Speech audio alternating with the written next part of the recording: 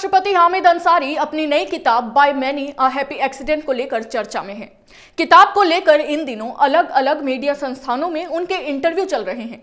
ऐसे ही एक इंटरव्यू में जब उनसे मुस्लिमों के डर वाले, उनके खूब चर्चित बयान पर बार बार सवाल किए गए तो वे अचानक उठकर चले गए। आखिर क्यों चुभा? हामिद अंसारी को ये सवाल इस रिपोर्ट से जानिए।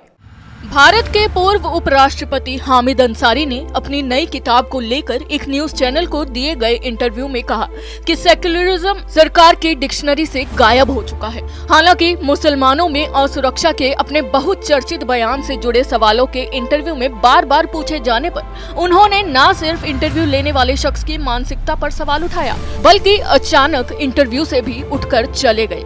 दरअसल, एक इंटरव्यू में अंसारी ने अपनी किताब में लिखी बात को दोहराते हुए कहा कि आज सरकार की डिक्शनरी में सेक्युलरिज्म शब्द है ही नहीं। ये पूछे जाने पर कि क्या 2014 से पहले सरकार की डिक्शनरी में ये शब्द था?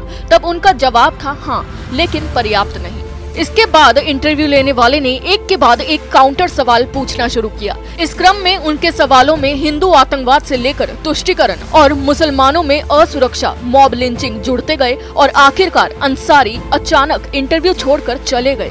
जब हिंदू आतंकवाद कहा जाता था, तब क्या सरकार की डिक्शनरी में सेक्युलरिज्म था?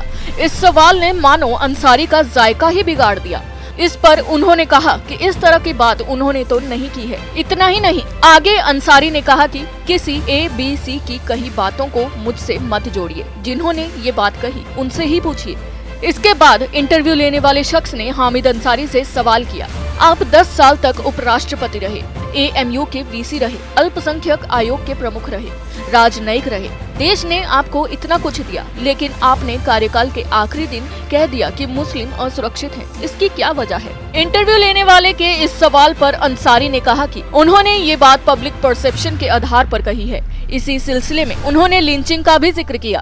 काउंटर सवाल में जब इंटरव्यू लेने वाले शख्स ने पूछा कि लिंचिंग तो हिंदुओं की भी होती है तब अंसारी ने कहा कि होती होगी। कई बार ये सवाल पूछे जाने पर कि आपको आखिर क्यों लगा कि मुस्लिम असुरक्षित हैं, लेकिन अंसारी इसका कोई सीधा जवाब न देकर टालने की कोशिश कर रहे थे। वह बार बार अपनी किताब के फुटनोट को ध्यान से पढ़ने की बात कह रहे थे। इसी दौरान इंटरव्यू लेने वाले शख्स ने कहा कि इंटरव्यू का मकसद उनकी किताब का प्रचार करना नहीं, बल्कि उसमें उठाई गई बातों पर सवाल करना है।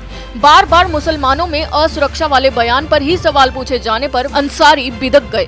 उन्होंने इंटरव्यू लेने वाले शख्स से कहा, आपकी मानसिकता ठीक नहीं है। क्या मैंने आपको इनवाइट किया था? आप किताब का रिव्यू कीजिए।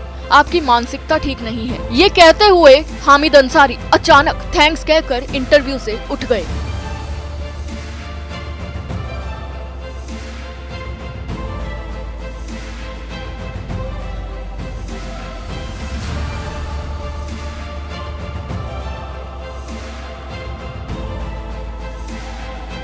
भारत के उपराष्ट्रपति हामिद अंसारी ने अपनी नई किताब by many a happy accident recollection of a life में भी लिखा है कि इन दिनों हो रही घटनाओं ने कुछ तबकों में नाराज़गी पैदा की है। अब इस पंक्ति के ज़रिए उन्होंने सीधे सीधे मुसलमानों पर हो रहे अत्याचार की बात की है।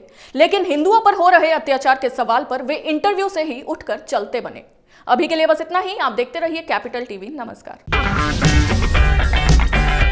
अगर आपको हमारा वीडियो पसंद आया हो तो इसे लाइक करें हमारे चैनल को सब्सक्राइब करें और हाँ बेल आइकन दबाना ना भूलें, ताकि आप तक हमारे वीडियो की नोटिफिकेशन पहुँचती रहे।